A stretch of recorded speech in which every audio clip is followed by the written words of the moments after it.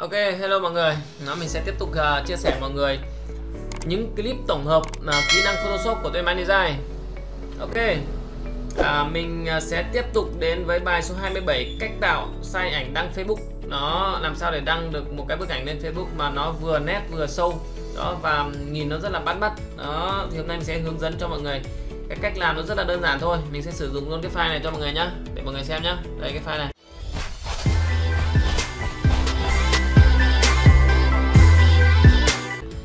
Đó thì à, bình thường là cái khổ Facebook là mọi người hay tìm hiểu ở trên mạng ấy thì à, người ta hay có cái khổ chuẩn của Facebook nó là 2048 đúng không cả nhà? Đó nhưng mà mình sẽ có vài cái điểm lưu ý như này khi mà mình đăng ảnh Facebook này. Tức là cái hình ảnh khi mà mình đăng Facebook ấy là nếu như mà mọi người xem bằng điện thoại ấy, thì à, file dọc nó sẽ đẹp hơn. Đó còn cái file ngang thì nó sẽ bé hơn. Còn đối với xem máy tính ấy, thì file ngang nó sẽ rất là đẹp còn file dọc thì nó sẽ bị mờ khi mà mình xem ở điện thoại thì ờ, file dòng nó đẹp hơn nó đúng với cái khổ của điện thoại thôi nhưng mà thực chất ra nó vẫn bị mờ nó không có được cái hạt. Đấy, và cái cách của mình khi mà mình khắc phục ở đây đó là mình đăng ấy, thì hầu như chủ yếu là mình đăng ảnh ngang. Và um, những cái ảnh dọc ấy, thì mình lại xếp thành ảnh ngang. Đó mọi người giả sử mọi người có thể thấy những cái Facebook của mình khi mà mình đăng đây thì hầu như là những cái ảnh dọc ấy thì mình toàn đẩy thành ờ, ảnh ngang hết này đó mình bật cho cả nhà xem nhé đây ví dụ như cái ảnh này bản chất đây là hai cái này là hai cái ảnh dọc. Nhưng mà nếu như mà đăng ảnh lên Facebook mà ở trên máy tính ấy thì nó sẽ rất là mờ. Đó và mình cũng có đổ thêm hạt rồi. Đó, kể cả mình xem vào điện thoại thì nó cũng rất là nét. Nhưng mà nếu như mà mình để ảnh mỗi ảnh dọc không ấy, thì nó sẽ rất là mờ. Và mọi người lưu ý nhá. Đó hầu như là toàn ảnh dọc thì mình toàn ghép vào thành hai cái ảnh như này. Còn ảnh ngang thì mình chỉ để, để đúng cái khổ cái size là đăng lên nó sẽ rất là đẹp thôi.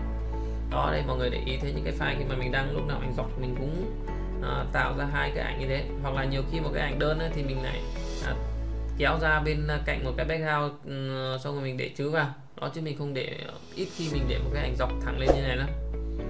Đó đấy là những cái lưu ý khi mà mọi người đăng thì mọi người cần để ý nhá. Còn cái file à, khi mà mình à, muốn thay đổi ấy, ảnh dọc hay là ảnh ngang ấy, thì mình muốn thay đổi một cái giá trị nào đó à, theo đúng cái khổ để mà đăng Facebook ấy.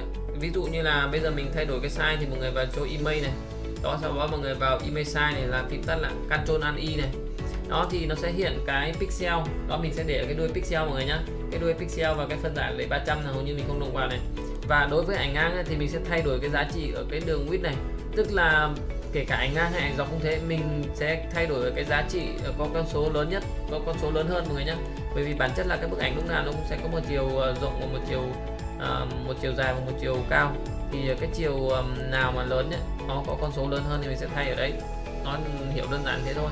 Thì bình thường là hướng dẫn ở trên mạng làm hay để cái khổ là 2048 nhưng mà thực chất nếu như mà để 2048 thì nó hơi bị nát mọi người nhá. Thì bình thường những cái dạng ảnh này á, thì mình đăng thì mình sẽ để tầm khoảng 2 2300 2500 hoặc là 2200 gì đấy thôi. Đó chứ mình không có để 2048 thì 2048 thì nó bị nát quá. Ví dụ như đây thì mình để tầm khoảng 2500 này.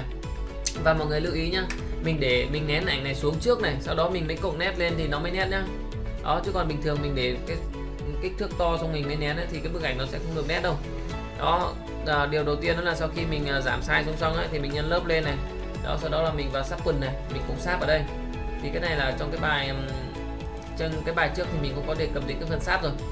Cái phần tăng nét cộng hạt ấy thì à, khi mà mình cộng sáp ở đây á cái bức ảnh nó sẽ rất là nét mọi người nhá. Nó cực kỳ nét luôn đấy cái điểm hạt của nó rất là nét luôn đó và mình cái thông số của mình mình thậm chí mình chỉ có để tầm khoảng 60 thôi thì rất là nét rồi.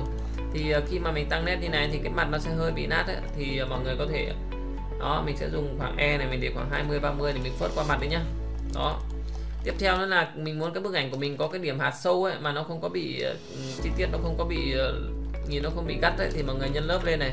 Đó và mọi người vào trong cái phần uh, grade là mình để cái giá trị thông số là 6 này không này 6 này thì nó sẽ có những cái hạt nhìn rất là đẹp mọi người nhá. Hoặc là 505 này thì tùy vào từng cái bức ảnh thôi.